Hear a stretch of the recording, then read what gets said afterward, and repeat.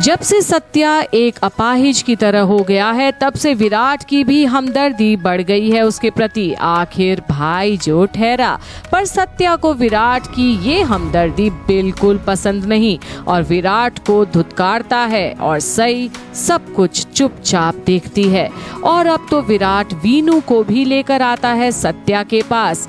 ताकि उसको मनोबल मिले, क्योंकि आखिर सत्या वीनू को जूनियर डॉक्टर कहकर पुकारता था और वीनू को भी बड़े होकर एक बहुत बड़ा डॉक्टर बनना है, पर सई अपने आप को नहीं रोक पाती। ये सोचने में कि आखिर तकदीर ने ये क्या मज़ाक कर दिया उसके साथ। कि जब वो तैयार हुई थी अपने दिल की आवाज़ को बुलंद करने के लिए और विराट को अपनाने के लिए कदम बढ़ाई थी तब ही आज उसे मजबूरन सत्या के पास वक्त गुजारना पड़ रहा है, क्योंकि वो उसे भी तो ऐसी हालत में छोड़कर नहीं जा सकती।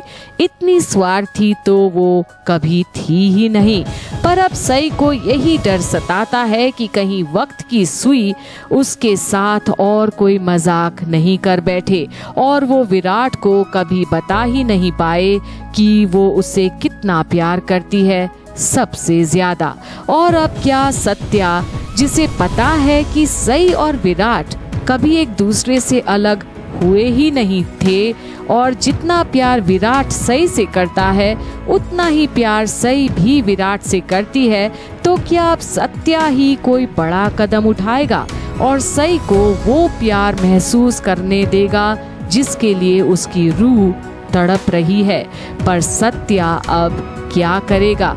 वो भी तो सही के बगैर अब नहीं जीना चाहता।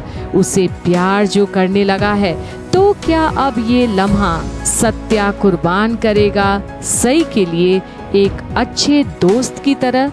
और क्या सई को खुद इस तड़प से बचाएगा जो वो विराट के लिए महसूस करती है? देखते रहिए घूमे किसी के प्यार में आगे क्या होगा यहीं पर।